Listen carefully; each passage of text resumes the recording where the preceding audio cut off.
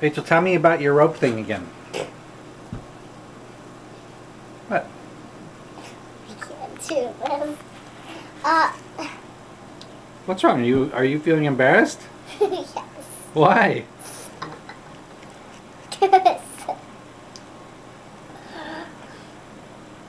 I You're not usually embarrassed. I was trying to tell you. Okay, let's hear it.